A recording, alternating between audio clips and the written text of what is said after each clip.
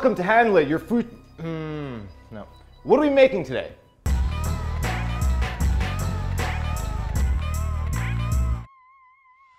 Welcome to Handle It, your futuristic, bombastic, telefantastic cooking show. I'm your host, Dan, aka the Stanley Kubrick of being mad sick, and today I have something very special for you. We're gonna take bread and toss it the f out of here and substitute it for something a little more on the form-fitting side. You know what I mean? If you guys have seen Amir lately, he's looking pretty f***ing hype. You wanna look hype too? This is how you do it. See this? You see this? Not often you don't. We're using cauliflower as the substitute for our crust for this pizza. Take a knife and cut off the florets, the cauliflower florets. You wanna keep the stems for tea, maybe after?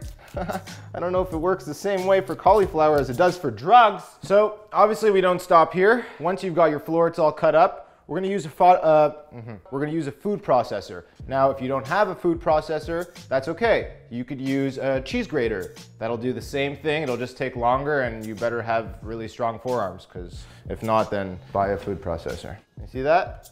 It's a nice, coarse, texture. So there are plenty of recipes out there for cauliflower pizza, keto pizza, whatever you wanna call it. However, we have tested this and Amir has come up with the best way to make sure that your cauliflower is dry and ready to go. The whole point of this step is to absorb all the moisture out of this um, cauliflower. You'll wanna cook this down until it's browned a little bit. And uh, when you stop hearing the sizzle, is when all the moisture has completely evaporated and you're ready to go to the next step. It's time to put together what binds this whole crust. So even if you don't like cauliflower, might like what goes in the cauliflower. Using two uh, beat up eggs right here, beaten up real nice, and uh, some Parmigiano Reggiano. I'm using the shredded variety, not the powdered. I like this one better. You, if you don't. Everything's in there, time to mix it all up. So if you want, of course, like any recipe, you can alter it. You could add whatever seasonings you like.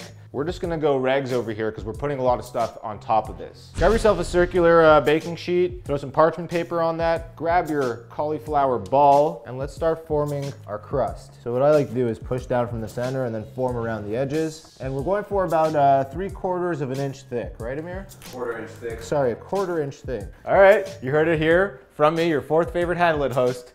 It's ready to go in the oven. Bake for about 20 minutes, and then we'll with it some more.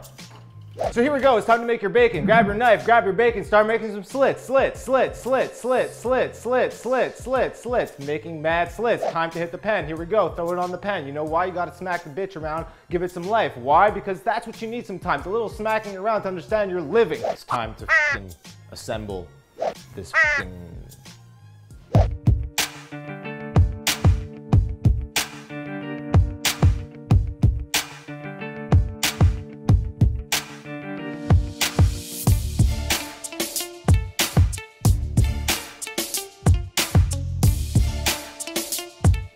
All right, so now that your uh, pizza's assembled, throw it back in the oven until the cheese is melted. Keep an eye on that. You don't wanna let it burn. Keto pizza. We're not saying stop making pizza and only make this. We're saying this is another way to make pizza. Maybe some of you at home are gluten intolerant. Maybe you wanna shed a couple of pounds.